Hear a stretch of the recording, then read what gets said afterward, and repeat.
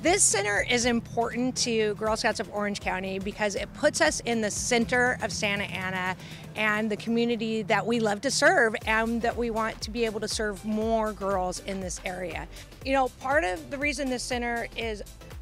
going to be able to be sustained is because the generosity of our donors and I cannot thank our donors enough and the community enough for this support. We can't do it without the support of donors, of the families, of our wonderful staff and I just thank all of them.